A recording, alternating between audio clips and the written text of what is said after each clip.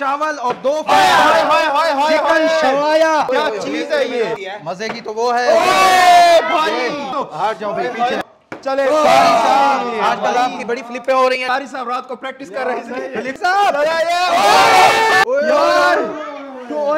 चलो ये